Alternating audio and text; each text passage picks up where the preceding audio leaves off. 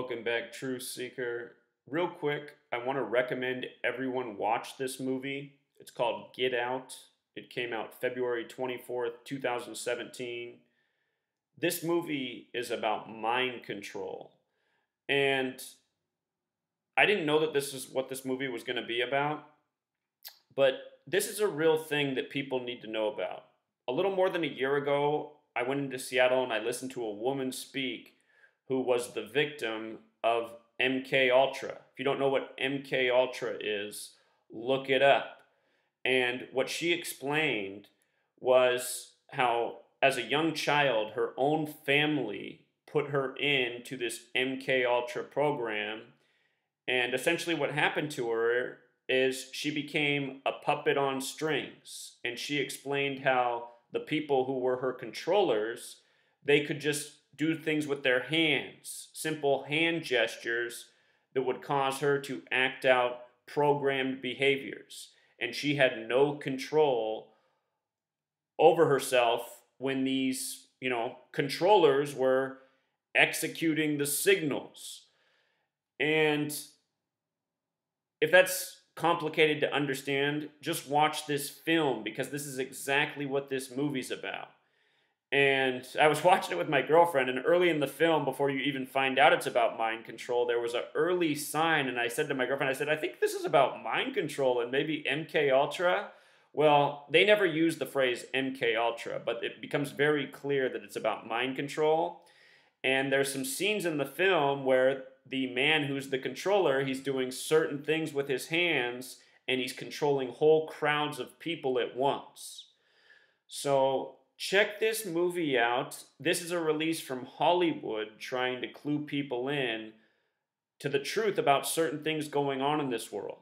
And when we see these false flags, these people who are used as patsies, it's very possible that these people are under MK Ultra mind control, which is something I've talked about for years.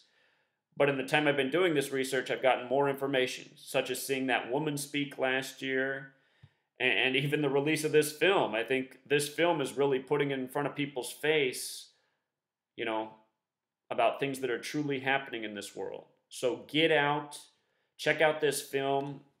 Earlier this year, before my channel was deleted, I talked about when this film was coming out. I didn't know it was about mind control. Back then, they just previewed it as being about racism. I noticed how then it had the gematria of 88, you know, big number with Trump. And Trump very much a racist, which so many people say, How's he a racist? And I just think, well, if you don't know how Trump's a racist, you must be a racist yourself. Donald Trump on the convention said that the lone black guy at, one of his rallies who got beat up by a crowd of white people deserved it. I mean, how do you read that if not racist? He began his campaign by saying all Mexicans are doing the raping, and then he came out as the pussy grabber. I mean, there, has been a lot of signs that Donald Trump's a racist, a bigot, absolutely. And, and does he talk about any of the the issues in this nation in terms of racism and oppression? He, he doesn't mention any of it, and, and that's another form of racism. If you're going to be a leader and not talk about things that are real problems for real people who live in this nation, that's a subtle form of racism as well. You know, if you're going to be the leader of the United States of America, you have to take a leadership position on things that matter and this is a nation that's been programmed to hate. YouTube just took down my video calling out the Zionists, and, in that video, I mentioned how the television is constantly making fun of the different races, you know, programming division and hate towards the different races, except for you can never say anything about the Zionist Jews.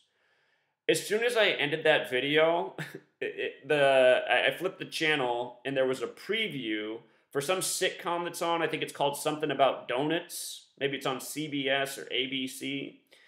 But the commercial was somebody comes in the room and goes, Oh, there was just a crime down the street.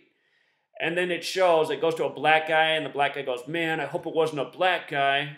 And then there's a Hispanic woman. She goes, I hope it wasn't some Mexican dude. And then there's another guy in the room who's Muslim, and he goes, I hope it wasn't a Muslim. I mean, this is what it is, you guys. This is what programming is. And this is some sitcom written by some Zionist Jew. You know? Every day you turn on the TV, nonstop propaganda and put downs for all the usual suspects and constant reinforcement that you can't talk about that one group of people. And this film, Get Out, focuses on the traditional, you know, established white person and the black servant. But it's also very much about mind control, and that's the reason you want to check out this film. All right, until next time.